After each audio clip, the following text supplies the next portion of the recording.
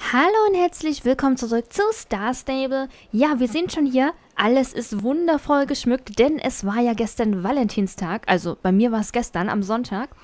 Und es sieht immer noch wunderschön hier aus. Richtig schön. Gefällt mir echt gut. Schade, dass ich gestern nicht online war. Äh, ich glaube, wir reiten direkt einfach mal hier durch. Wir müssen ja wieder zum Landgut zurückreiten. Weil die Sache mit Sabine ja hier am Laufen war. Werden wir auch gleich machen. Ich will mir nur mal gerade anschauen, wie das hier geschmückt ist. Oh, wie schön. Über die kleinen Herzlaternen. Niedlich. Also das muss ich jetzt wirklich hier machen. Einmal komplett hier rumreiten. Oh, und die ganzen Luftballons. Ist hier auch irgendwas? Äh, schade, hier ist nichts mehr.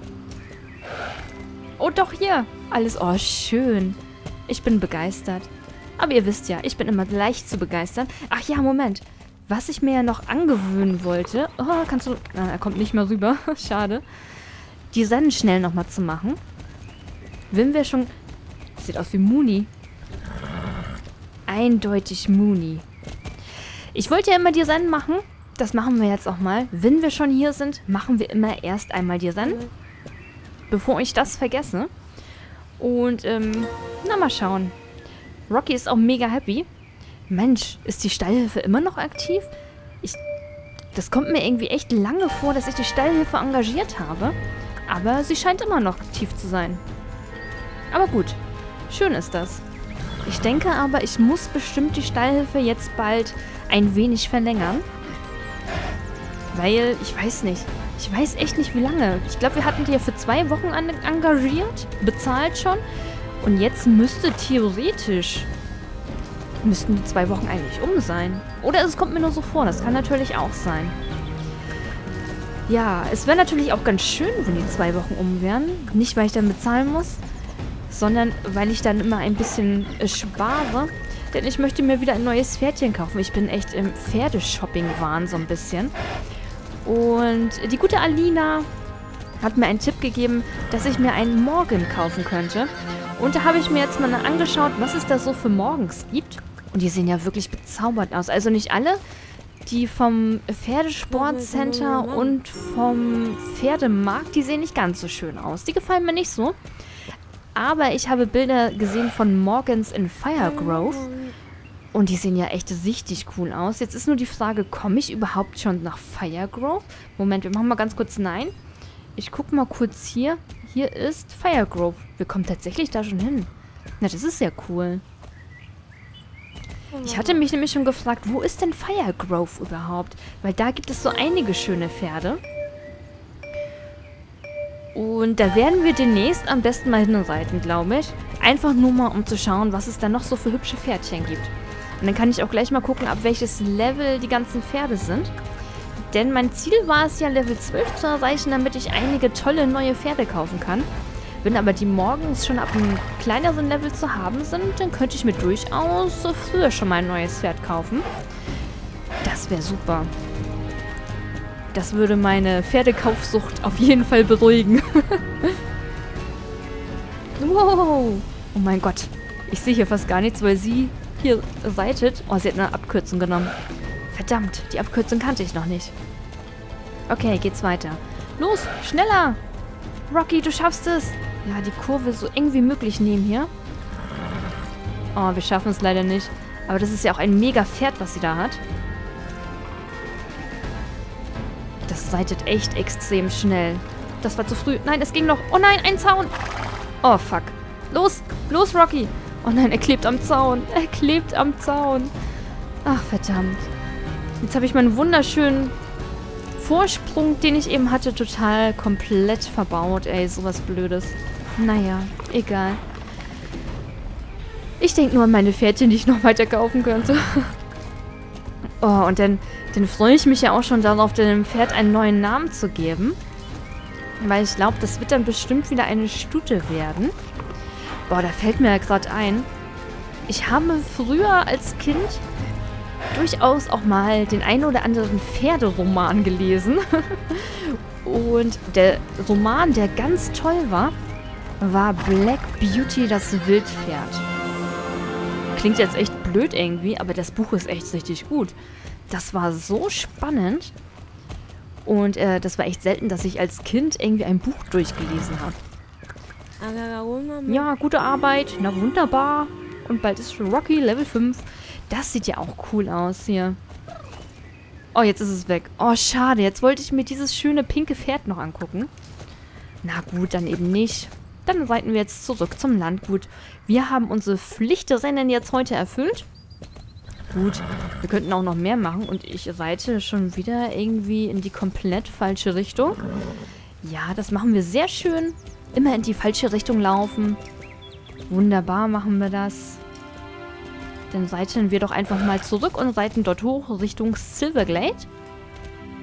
Denn das ist ja gleich daneben. So. Schön ist das. Hops. Ich glaube, das wird jetzt langsam mit den Springen, wenn ich es nicht immer verpasse. Doch, durchaus. Gar nicht mal so übel. Oh, das ärgert mich jetzt aber doch, dass wir am Zaun festgesteckt sind. Das war echt ärgerlich. Schade. Hätten wir vielleicht sogar noch eine Höchstleistung schaffen können, weil den Parcours, den haben wir ja jetzt wirklich sehr gut äh, gemeistert gehabt. Na gut, Parcours ist es nicht. Parcours ist ja dieses andere da. Aber ja, egal. Ihr wisst schon, was ich meine. So, jetzt bin ich mal gespannt, was hier mit Sabine los ist. Oh, verdammt. Ich wollte nicht mehr gespannt sagen. Ich sag einfach viel zu oft, ich bin gespannt. Gut, ich bin wirklich gespannt. Trotzdem sag ich das einfach viel zu oft. Ich weiß nicht, habt ihr irgendwie Sätze oder Wörter, die ihr ziemlich oft sagt? Man gewöhnt sich ja immer so an einige äh, Satzbauten oder generell einige Sätze und Wörter, dass es immer mal vorkommt, dass man einige Sachen echt sehr oft sagt. Hallo! Oh, nett, dass du äh, gestoppt bist. Es gibt durchaus auch nette Reiterinnen hier. So, ich hoffe, ich bin hier richtig. Also so vom Weg her. Aber es sieht alles ganz gut aus. Ja, da oben ist es doch schon.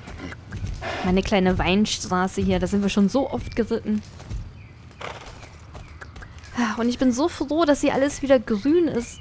Es ist einfach viel schöner irgendwie, dieses Frühlingsgefühl hier zu haben, anstatt das Winterliche. Auch wenn ich im Sommer wahrscheinlich wieder denke, oh mein Gott, es könnte bald wieder Winter sein, weil es viel zu warm ist. Aber vielleicht habe ich ja auch dieses Jahr meine Meinung zum Sommer und Winter ein wenig geändert. Denn ich freue mich jetzt schon echt extrem auf den Sommer. Oh, müssen wir zu Baroness? Oh, hier leckt, äh, leckt das wieder ganz schön. Hallo. Hallo, Sabine? Nein, sie ist für eine Weile mit dem Pferd und Ausrüstung verschwunden. Schien so, als würde sie nicht mehr zurückkommen. Komisch, wo sie gerade für einen ganzen Monat die Stallmiete bezahlt hat. Ach, die Sabine. Ich frag mich nur, warum. Hallo. Was willst du noch über Sabine wissen? Eigentlich weiß ich nicht viel über die Mädchen, die sich im Stall rumtreiben. Ich weiß ihre Namen, aber das war es eigentlich doch schon. Warte, Justin? Wie bitte was? Er ist losgegangen, um, um meinen, seinen... Ist das ein Scherz? Das wäre nämlich gar nicht witzig. Äh, nein, ist doch nicht witzig. Bitte entschuldige mich. Ich, ich glaube, ich brauche eine kalte Dusche. Sofort. Godfrey! Wuhu, Level 9.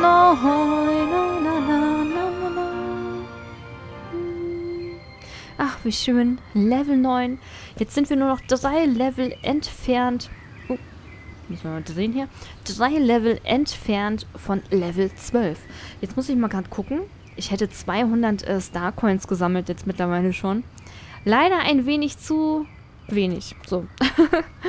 Da brauche ich noch unbedingt... Ich brauche 500 Starcoins noch dazu. Mandy, warte. Es gibt hier irgendwo ein neues Mädchen. Sie hat auch nach Sabine gesucht. Finde sie und freunde dich mit ihr an. Ihr werdet sicher schnell gute Freunde. Oh, hoffentlich ist sie nett und nicht so wie die anderen. Obwohl May. May mag ich.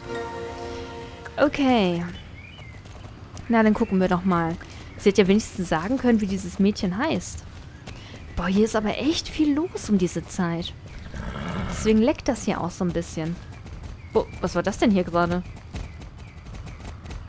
Das war ja ein äh, mega Flugjumper hier. Alex!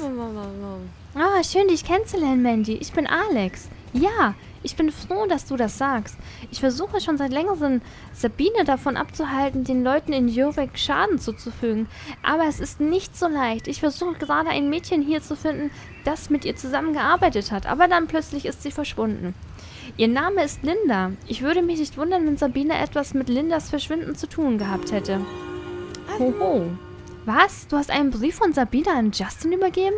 Oho, das ist nicht gut. Und jetzt sind beide weg? Warte, hast du schon mal Sabines Pferd gesehen? Kahn? Es sieht wirklich anders als die anderen Pferde aus. Er hat so wie einen Schein um sich herum. Seine Hufabdrücke sehen auch anders aus, so als würden seine Hufe brennen, wenn er sie in den Boden drückt. Vielleicht finden wir so eine Spur, wenn wir Ausschau nach solchen Abdrücken halten. Ich schaue mich mal im Stall um. Finde Kahns glühende Hufspuren. Ah, und wie schön, dass die Karte schon sagt, wo wir lang müssen. das finde ich super. Oh, boah, das wäre aber auch echt schwer, wenn wir die Fußabdrücke suchen müssten, wenn hier nicht solche Spur wäre. Mann, Mann, immer diese Sabine. Immer diese blöden Sabine. Ich weiß nicht, ob ihr... Ich weiß nicht, war das bei Lady Kracher? Kennt ihr Lady Kracher? Hier mit Anke Engelke und so? Äh, da gibt es auch immer ein, ein Comedy-Part, wo eine Sabine drin vorkommt. Und das erinnert mich irgendwie jedes Mal daran. äh, ich könnte eigentlich mal das Rennen hier machen. Ging das überhaupt jetzt noch? Warte mal kurz. Ah, nee, warte mal, da ist eine Fußspur. Hier noch mehr. Äh, kann ich die nicht einsammeln? Ach so. Brauche ich gar nicht einsammeln. Das geht auch so. Alles klar. Okay, okidoki, dann machen wir das so. Ja, wir finden Sabine. Diese ätzende Sabine.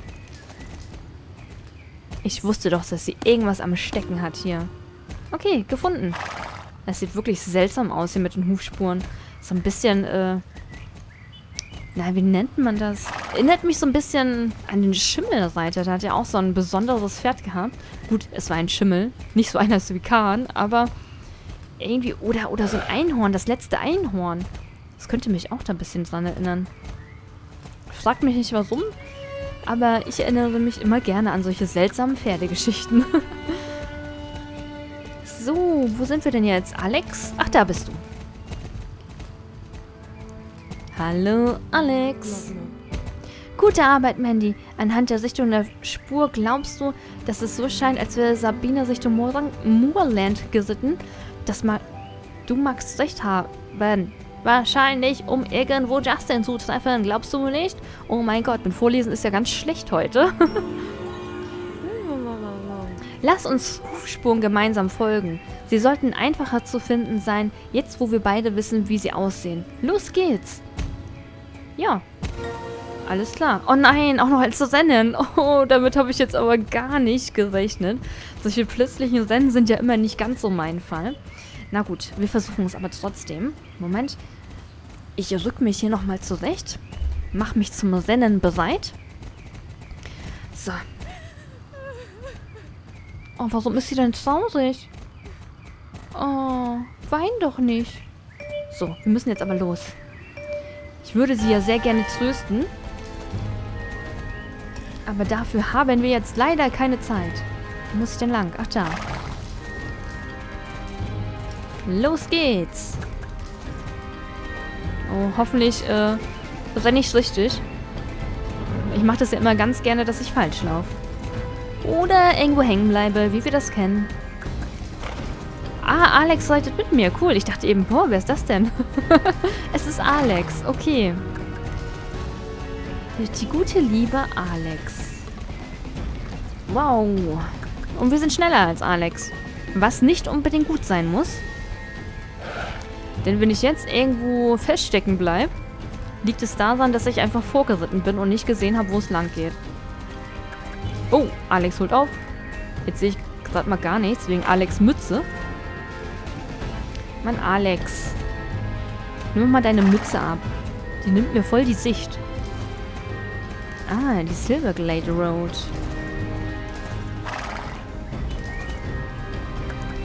Oh, wenn das jetzt eine richtige Rennstrecke wäre, das wäre natürlich echt cool. Weil die Strecke echt nett ist. Bis jetzt zumindest. So, hier abbiegen. Und auf nach Moorland. Hm, ich muss mich ein bisschen konzentrieren hier. Bin nämlich so ein bisschen abgelenkt gerade von den äh, schönen Hufen. Okay, hier geht's lang.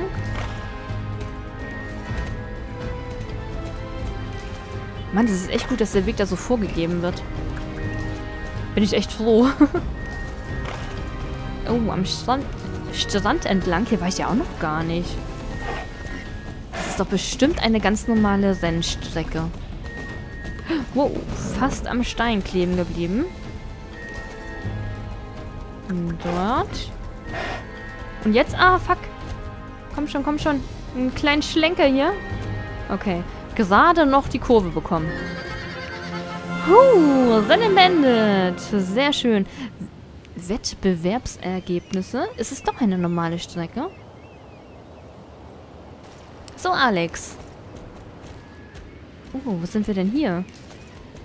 War ich hier schon mal? Doch, hier ist doch, äh... Weiter? Genau. Da wohnt, äh, Miss... Miss Holograph. Nee, ich weiß nicht mehr, wie sie heißt. aber, aber die wohnt ja. Irgendwie so. Da sind sie ja. Sie verlassen die Insel. Verdammt. Das kann doch nicht wahr sein. Das ist eine Katastrophe. Was? Nein, das ist nur diese Container. Sabine, Sabine bringt Justin zu. Es tut mir wirklich leid, aber ich kann es nicht mehr sagen. Was denn? Hör zu, du solltest Thomas davon berichten. Er ist Justins Vater und muss Bescheid wissen. Ich sehe dich beim Landgut wieder, okay? Alles klar. Und so schnell geht Sabine. Tschüss. Tschüss, Sabine und Justin. Guck mal, sie winkt sogar. Das ist ja frech. Das ist ja frech, dass sie sogar winkt. So, dann werden wir mal bei Miss Holocaust hier reinspringen und einfach mal darüber hüpfen. Oh, wieso springt er denn nicht? Rocky, warum bist du nicht gesprungen? Hm, na gut. Dann gehen wir eben außen rum. Rocky möchte nicht springen. Hat aber auch gar nicht reagiert gerade. Hm. Seltsam. Irgendwas war da, was ihn vom Springen abgehalten hat. Wenn ich nur wüsste, was. Oh, ein Zaun. Vielleicht war es ein Zaun, den ich nicht gesehen habe. Wer weiß. So, da sind wir wieder. Bevor wir jetzt aber Thomas erzählen, was wir gesehen haben, werde ich erst einmal einen Cut machen, denn es ist schon wieder soweit. Und ich würde sagen, wir sehen uns in der nächsten Folge wieder. Also bis später und auf Wiedersehen.